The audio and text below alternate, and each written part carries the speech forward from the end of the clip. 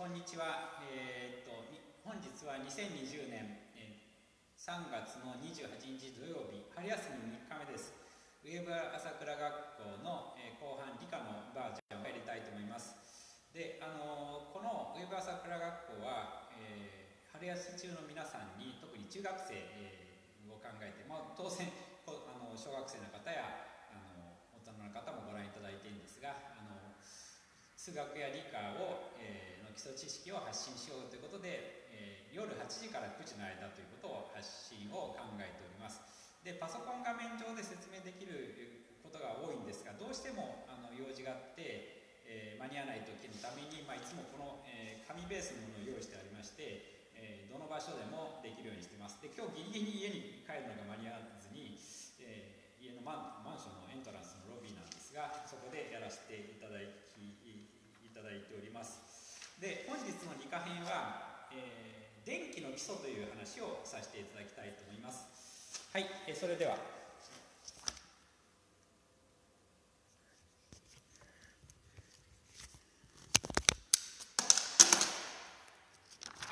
はい。でまず、まあ、電気というのは、まあ、あの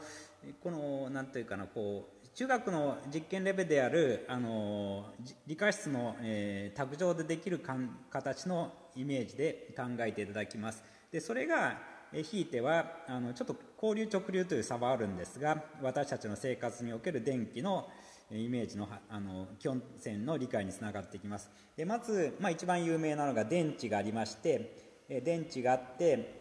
電流が通ってそれで豆電球の光をあの照らすんですがこれは電気エネルギーが光エネルギーに変わるということです。で電気を最初に、え、考えた時にあのまあ、プラスからマイナスに電流が流れるというふうに約束したんですね。約束として。ところがその後に実際に流れてるのは電子というマイナスの粒の流れだということが分かったんですが、まあ、その後電流の向きをその途中で変えるわけにもいかないのでえー、まあ、最初にした約束である電流はプラスからマイナスに流れるという約束のままに、えー、電流については説明してあります。でも実際の粒子としての電子は逆向きに流れているということを忘れないでください。それで、えー、この回路図はその豆電球のような抵抗を×印で、えー、まあ表しまあ、抵抗というかこの豆電球は×印この丸に×印で表して、えー、そして電池についてはこうなんですね。電池は長い方をプラスと見立てます。で短い方をマイナスと見立てて、えー、これあのよく電池の実際のあのトンこうプラスの方はちょっと飛び出てる部分が短いので逆に考えちゃう人がいるんですけど、えー、長い記号で表現する時には長い方がプラスですので注意をしてください。そして、まあ、スイッチこういうスイッチはこういう記号で表します。そして抵抗というのは、まあ、あのまあ、あのこういう記号で表します。でそして電圧計と電流計というのがあるんですが電圧を測る装置と電流を測る装置、まあ、ボルトの、えー、V で電圧計は V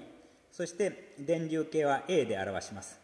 さてつなぎ方は直列と並列というのがあります。で直列というのはこう同じ方向につなぐ。で並列というのはこれ横並びでつなぐ形でありまして、まあ、それぞれこういう記号で表す形になります。そして、えっと、電圧電気を押し出す圧力のことなんですが電圧は直列にするとこれ乾電池をつないだ時の高さで電圧はイメージしていただくといいと思うんですがえ縦につなげると高さが高くなりますのでこれ1ボルトを3つ直列につなげると3ボルトになるんですね。とか並列につなげた場合にはこう高さは変わりませんので1ボルトです。ただえーと、消費消費消費量消費量が少なくなりますので並列につないで使った場合には長持ちするということになりますね。さてでその次に、えっと、電流の性質なんですが直接あの直列直接じゃない直列回路では電流の量はどこでも一緒です。でこれずっと一緒です。あの今度 A で測っても B で測っても C で測っても D で測っても E で測っても一緒です。記号で書くとこういうことですね。でこれは実は電流というのは川の流れのようなものだと考えていただくとあのずっと川の流れは水の量が一定である限り一定幅は一定ですね。さてえ次にあのここなちょ、えっと、並列の場合はどうなるかというと、え例えば最初4アンペアの電流が流れてちょうど抵抗が同じ大きさだと、えー、2つに分かれると2アンペアと2アンペアに分かれます。そしてまた合流して4アンペアなんですね。でこれは川の流れにな例えるとちょうど水流が二手に分かれてまた合流すると川の太さが元に戻るというような形に表現できます。それで次になんですがちょっとごめんなさいね。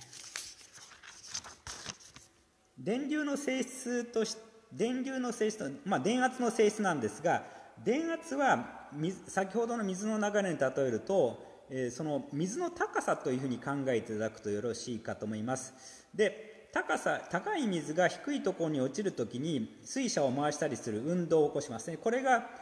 抵抗線を厚くしたりあるいは、えー、電球が光ったりするエネルギーにつながっていきます。そして低いところになった水流を再び高い、えー、ところに上げるのが電池の役割ですね。電圧を再び、まあ、高いところに上げるのが電池の役割です。でこれと同じようにこれと同じことが電流についてえー、プラスのところから来てで抵抗を取って、えー、消費してマイナスにあマイナスというか段低くなり再び電池で上昇するというようなイメージで捉えていただくとよろしいかと思います。で今言ったようなイメージで抵抗というのは抵抗とか豆電球はこの水車を回しているように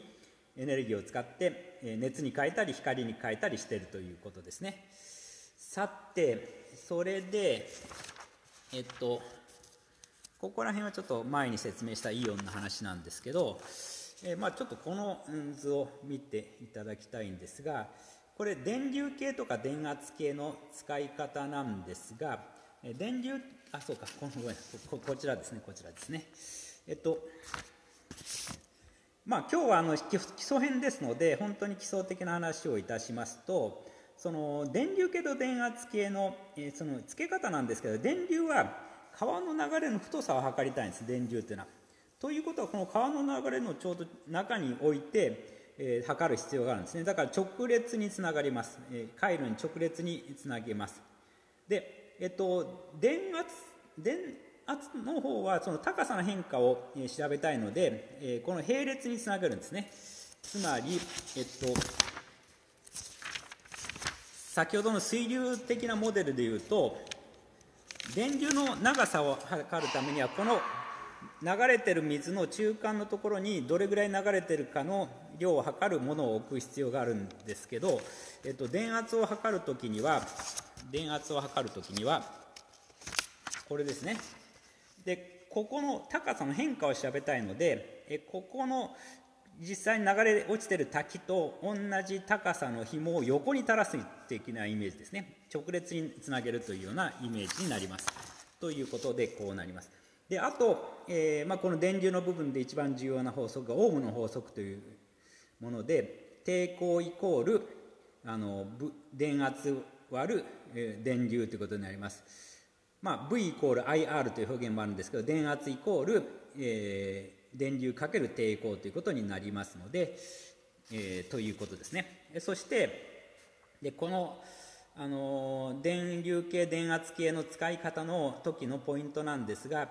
赤端子と黒端子がありましてで赤端子はプラスの方につなげますそして黒端子の方はマイナスの方につなげるんですけどその時の測定のその電流電圧の値にえー、よってこのチャンネルを変えるんですね、まあ、5アンペアチャンネルから500ミリアンペアチャンネルから50ミリアンペアチャンネルまであります、えー、ということで、えー、黒端子の方でその実験のレベルに合わせた単位にさせるということです。いうことですね。はい。以上が、えー、基礎の話でありますので、まあ、本日は、えー、ここら辺にさせていただきたいと思います。で最初から繰り返して言いますと、えー、まあそっか最後せっかくだから元に戻りますか。とこれをこうしますか。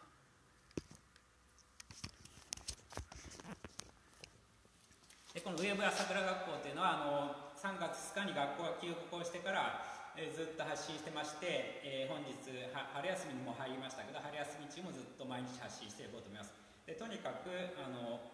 8時から夜8時から9時の間に数学と理科を、まあ、10分程度ずつ発信しようということで春休みはありえますので、えー、ちょっとどうしても、あのまあ、間に合わない時があるようにこういうふうにさまざまな、まあ、紙ベースももともと作ってあるものを持ち歩いてまして間に合わない時にはこうその家に着く前にこの形でやっております。でその時にはどうしてもパソコン画面状態じゃないので不十分なところがありますけど、えー、とにかく発信させていただいて、えー、後日あの機会があればきちんとパソコン画面上でしっかり説明できる形に振り返りをしていきたいと思いますので、えー、まあ、その形でやっていきます。はい。それでは理科編は以上で終わらせていただきましてまああの5分後くらいにちょっと社会編というか、えまあ、あのこの間の事態についての船橋の情報と私が感じるところをまあ、5分後ぐらいに述べたいなと思っております。いやご清聴ありがとうございました。